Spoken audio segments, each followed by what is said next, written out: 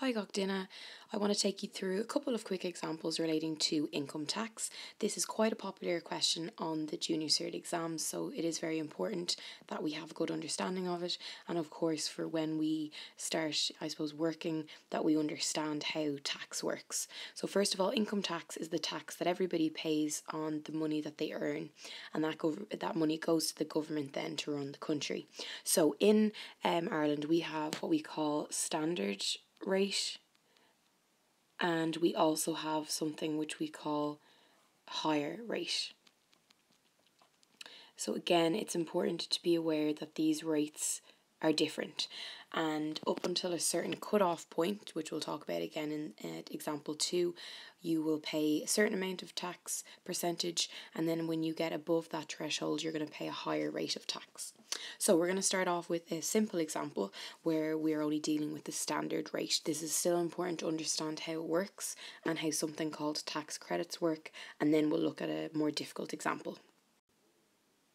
Okay, so in this example, we know that uh, Tom earns a gross pay of 28,000. So gross pay represents how much money he earns before any deductions are made.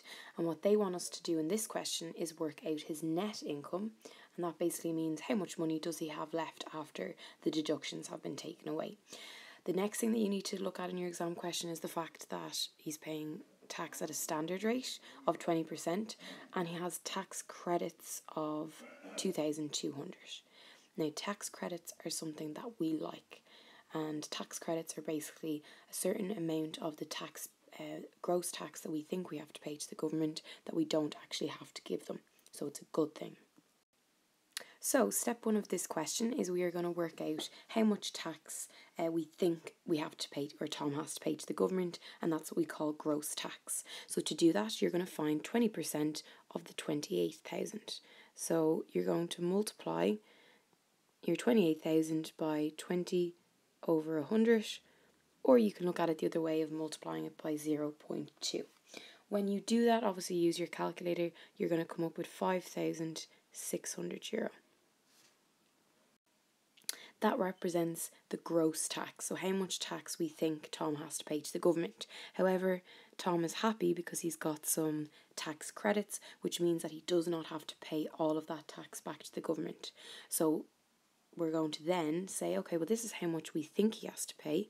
However, he doesn't have to pay 2,200, so we're going to subtract. And when you subtract that, we're going to get net tax of 3,400 euro. So that's how much money Tom actually has to pay to the government. We're nearly there. Last thing we have to do then is find his net income. So we're going to take his net tax and we're going to subtract that away from his gross pay.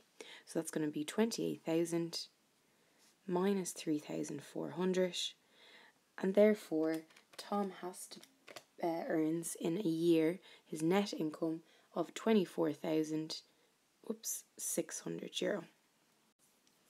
Okay guys, so for this example, we're going to look at something that's a little bit trickier. And the reason why it's a little bit trickier is because this person earns over what we call the standard cut-off point.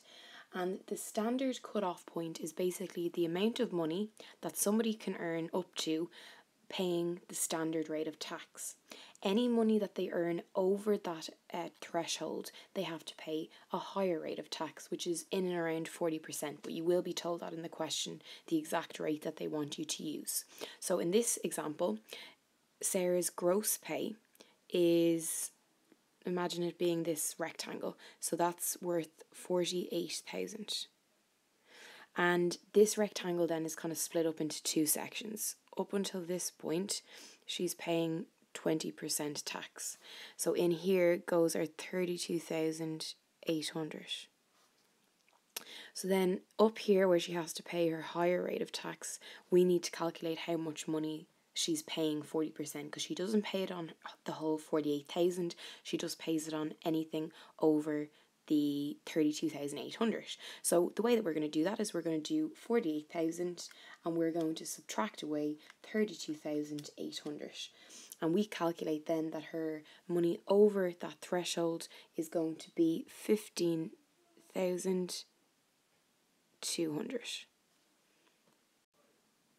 So that that's step one. So basically, you work out how much money is uh, is being represented in the higher rate um percentage and that in this question it's going to be 15,200.